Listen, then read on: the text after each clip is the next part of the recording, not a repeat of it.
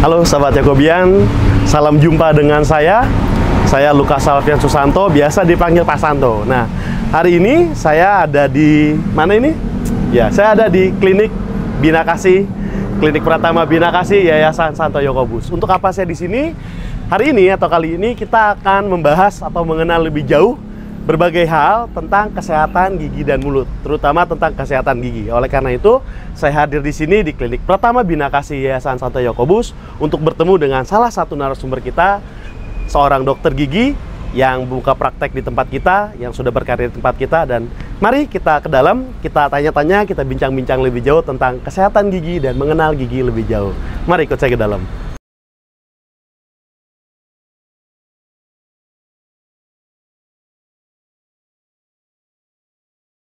Sahabat Yakobian, kita hari ini akan mengenal dan berbincang-bincang dengan narasumber kita yang tadi sudah saya bilang bahwa saya berada di sebuah klinik yang dekat dengan kehidupan kita yaitu klinik Bina Kasih Pratama Yayasan Santo Yakobus. Ya, saya sudah ditemani dengan seorang narasumber, ini dokter gigi kita. Silakan dokter siapa namanya? Halo sahabat Yakobian, perkenalkan aku dokter Berliana. Ya, dokter Berliana. Ya, dokter Berliana ini adalah dokter gigi di klinik Pratama Bina Kasih. Bukan begitu, Dok? Betul sekali. Aku praktek di sini di hari Rabu. Oh, jadi kalau sahabat Yakobian mau ke sini ngecek-ngecek giginya, mau ketemu dokter Berlian nanti setiap hari Rabu, gitu ya, Dok? Iya. Iya, jadi sahabat Yakobian, hari ini kita akan mengenal seputar gigi, berbagai macam apa ya penyakitnya, mungkin kesehatan gigi dan semua hal kita akan kupas secara mantap di sini bersama Dokter Beriana. Untuk itu gak usah lama-lama, langsung aja nih. Saya mau tanya sama dokter, dok. Boleh. eh kalau kita ngomong soal gigi nih, biasanya kan itu ngaruhnya sama makanan ya. Bener. Ya apa yang kita makan, kalau ompong sih mungkin susah gitu. dok. Iya. nah, ini kalau masalah gigi nih, sebenarnya setiap kita makan itu apakah harus selalu sikat gigi atau bagaimana sih atau berapa lama kita sikat gigi itu setiap makan sikat gigi setiap makan sikat gigi atau harus berkumur aja atau bagaimana Oke, jadi sebenarnya eh, teman-teman semua kalau sikat gigi itu sehari dua kali cukup. Kapan? Yang paling penting itu adalah pagi hari 30 menit setelah kamu sarapan dan malam hari sebelum kamu tidur. Nah, cuman kalau intensitas kamu makannya meningkat nih, misalnya suka nyemil, apalagi nyemil-nyemil makanan yang manis, snacks segala macam kayak gitu, baiknya intensitas sikat gigi pun ditambah, jadi bisa tiga kali sehari gitu. Nah sebenarnya selain dari Mhm. waktu kamu sikat gigi juga cara sikat gigi, terus jenis sikat giginya Hmm. itu juga bisa mempengaruhi kebersihan gigi dan mulut kamu gitu. oh jadi emang sebenarnya itu anjuran dari kecil ya dari kecil juga kan saya diajarin Iya. ya tuh sama dokter gigi pertama orang tua saya gitu ya iya. nah sama dokter Bagus, gigi bagus. diajarin tuh emang sikat gigi tuh sehari dua kali memang itu udah cukup ya sebenarnya sehari dua kali Cukup ya banget sehari dua kali tuh dan yang yang pokoknya paling penting pagi hari sama malam hari sebelum tidur. Hmm. Jadi gitu. pagi hari sama malam hari sebelum tidur itu kenapa ya dok harus pagi dan malam? Boleh nggak kalau saya siang sama sore atau pagi sama sore? Kalau misalnya pagi, kita kan perlu untuk eh, membersihkan gigi nih. Hmm. Karena setelah apalagi setelah sarapan, setelah Hmm. sarapan pokoknya kita perlu supaya gigi kita tuh bersih. Mm, mm, mm, Nanti kan kita baru makan lagi siang. Mm-mm. Baru makan lagi siang, eh, berarti kita perlu giginya cukup bersih tuh selama berapa jam seandainya kita eh, sarapan, setelah sarapan kita sikat gigi jam 7. Berarti kita kurang lebih makan jam 12, gigi kita bersih dalam waktu 5 jam. Mm-mm. Itu tetap bersih terus kondisi gigi kita. Nah, kalau malam hari kenapa perlu? Eh, kita kan akan istirahat tuh berapa jam.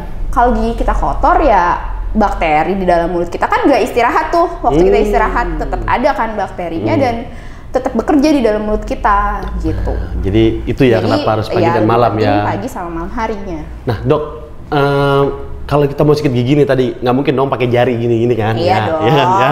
Jadi pasti kalau sikat gigi tuh kita pakai sikat alat ya sikat gigi. Nah, Betul. kan banyak tuh di pasaran tuh sikat gigi jenis-jenis sikat gigi.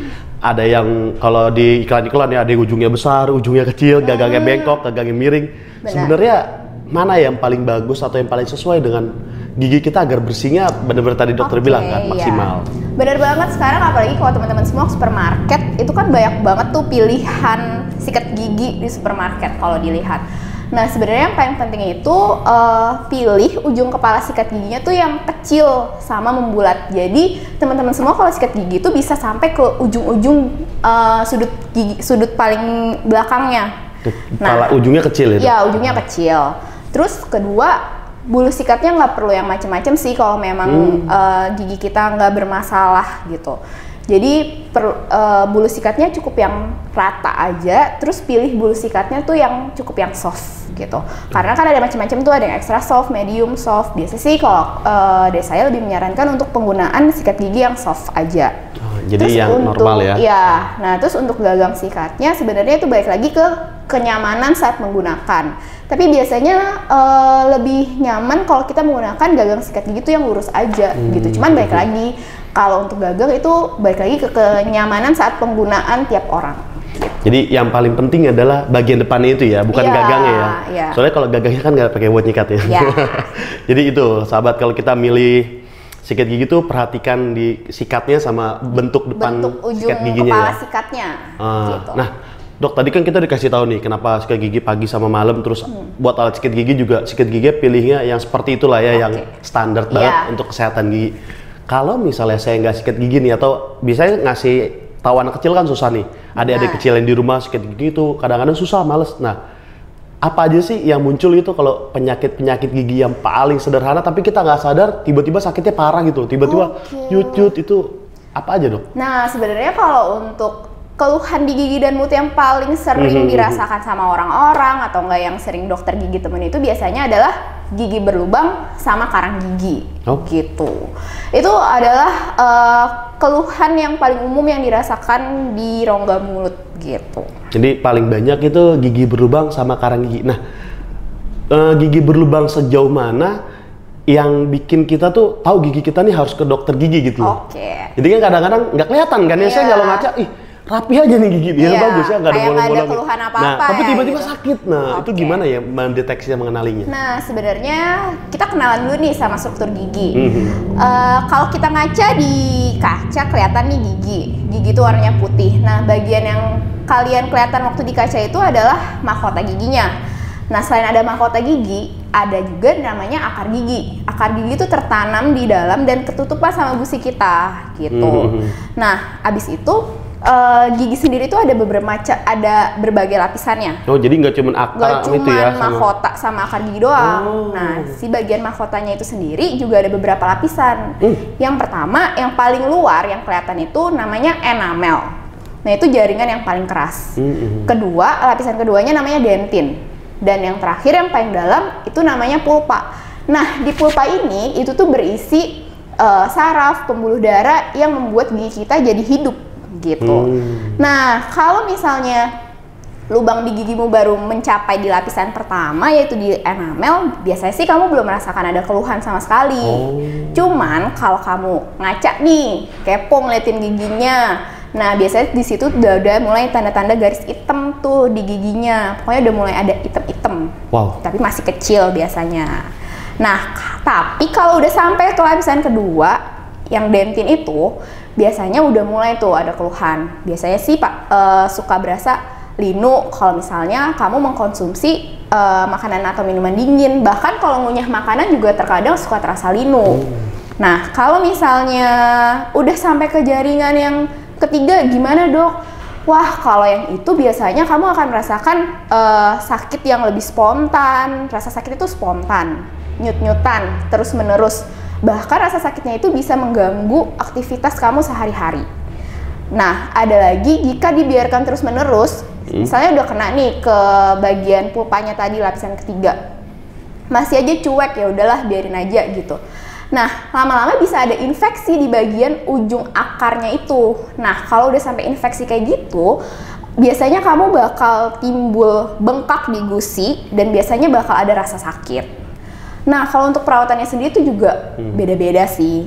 Kalau kamu lubangnya masih di lapisan pertama, kedua yang sampai ke dentin itu, biasanya masih bisa dilakukan penambalan secara langsung. Mhm. Tapi kalau udah kena ke saraf atau sudah ada infeksi akumulasi bakteri di ujung akarnya itu, sayangnya gigimu harus dilakukan perawatan saluran akar dulu. Nah, itu perawatannya biasanya lebih panjang dan lebih kompleks.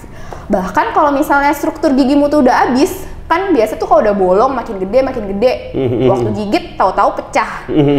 Struktur giginya habis kan, jadi nggak ada, tinggal dikit.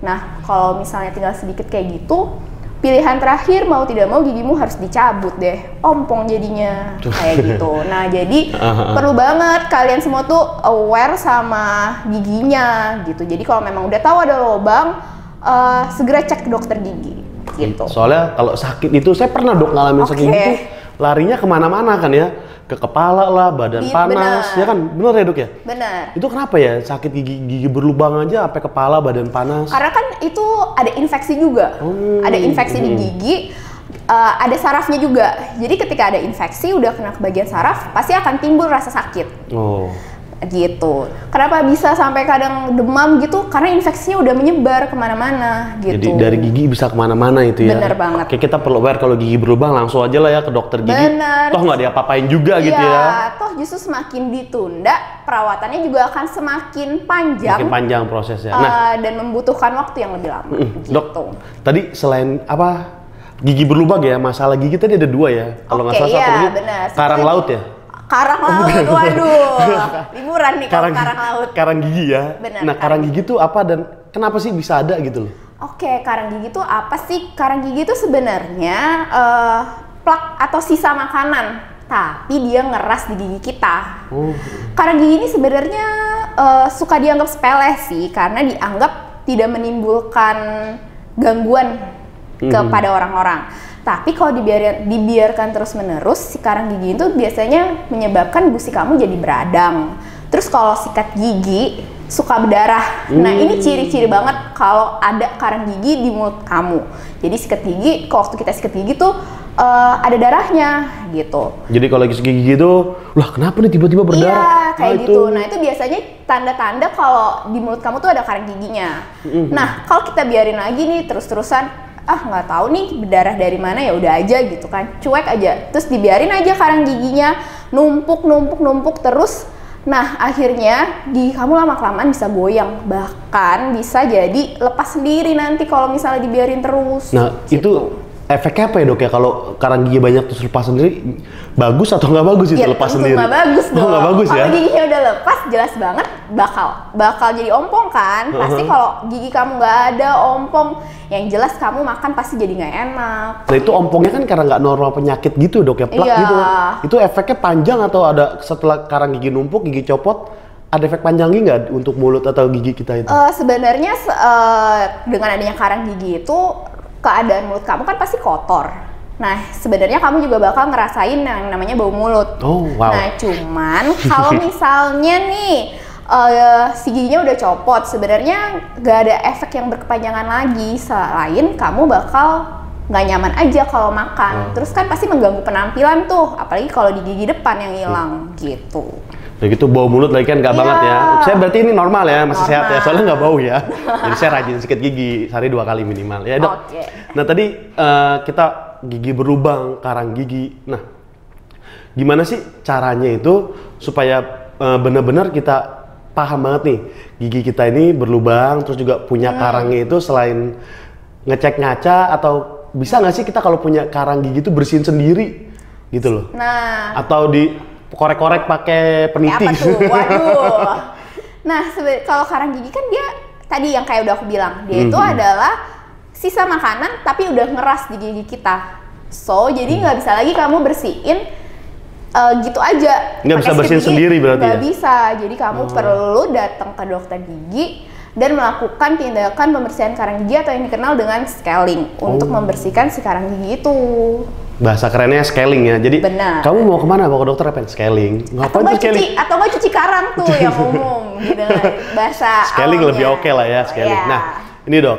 Tadi kan kita udah tahu nih bahwa gigi tuh strukturnya ada enamel, dent, dentin, tadi segala ada pulpa segala kan.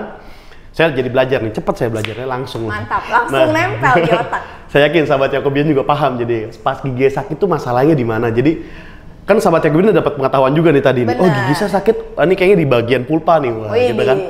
Nah sekarang ini masalahnya dok, case-nya berbeda nih. oke Kan dokter Benar. bilang tadi lebih baik kalau mulai rasa sakit ke dokter gigi. Benar. Tapi masalahnya sekarang case kita berbeda. Apakah Betul sekali. aman dan bisa kita ke dokter gigi ketika gigi kita mulai bermasalah? Sebenarnya untuk sekarang eh, boleh untuk pemeriksaan gigi jika gigi kamu bermasalah karena sekarang yang paling penting adalah dokter giginya di sini eh, menggunakan APD alat pelindung diri untuk eh, tindakan kepada setiap pasien. Cuman memang untuk di saat pandemi seperti ini lebih dianjurkan jika eh, kamu ke dokter gigi jika memiliki keluhan yang eh, emergensi atau darurat. Contohnya seperti apa dok, gitu kan? Mhm. Contohnya itu biasanya eh, ketika kamu merasakan nyeri yang udah sakit banget, gak tertahankan, terus adanya pembengkakan saat infeksi, terus ada perdarahan yang tidak terkontrol, dan jika kamu eh, mengalami trauma akibat kecelakaan. Jadi sebenarnya di saat pandemi seperti ini lebih diutamakan untuk kasus-kasus yang seperti itu, gitu. Jadi yang memang parah banget ya, yang Iya, udah parah banget. lebih diutamakan So sebenarnya nggak apa-apa kalau kita ke dokter gigi juga Iya. karena sebenarnya sudah ada protokol kesehatan dokter giginya juga lengkap Benar. pakaiannya hanya untuk yang benar-benar mendesak. Sekali lagi hanya untuk yang benar-benar mendesak ya dok ya. Iya. Cuman kalau gigi udah mulai kelihatan, ah gigi saya kayak mesti di bersihin nih ada lubang dikit, nggak tahu bukan lubang gitu ya. Iya. Cuma salah lihat, nggak tahu biji cabai nempel atau cabai gitu ya. Jadi nggak kayak gitu juga gitu. Jadi ke dokter gigi itu benar-benar dengan saat yang mendesak. Iya, Jadi untuk bisa gitu sekarang. ya. Untuk kondisi saat ini, Iya, tetap bisa ke dokter gigi tapi dengan dengan kondisi-kondisi darurat seperti itu dan kita juga dokter giginya menggunakan alat pelindung diri. Nah, begitu, sahabat Yakobian. Saya rasa penjelasannya sudah mantep ya, Jawa. Kita sudah kenal nih gigi kita kayak apa, terus cara menyikat gigi, durasi menyikat gigi, gitu kan, bentuk-bentuk sikat gigi. Tadi udah dijelaskan oleh dokter gigi kita nih, dokter Berlin ada tadi ya, udah dijelasin bahwa karang gigi, penyakit gigi juga apa aja. Nah, sahabat Yakobian, untuk eh, saat-saat seperti ini lebih baik kita mencegah. Jangan Benar. sampai malah tadi Ada harus keluhan-keluhan. Ya, malah makin parah kan. Benar. Jadi jaga kesehatan gigi kita dan perhatikan selalu kebersihan gigi kita. Begitu. Terima kasih dokter atas informasinya, atas masukannya tadi banyak banget tips-tipsnya supaya kita menjaga kesehatan gigi dan mulut. Kita berjumpa lagi nanti dalam topik lainnya. Bye bye.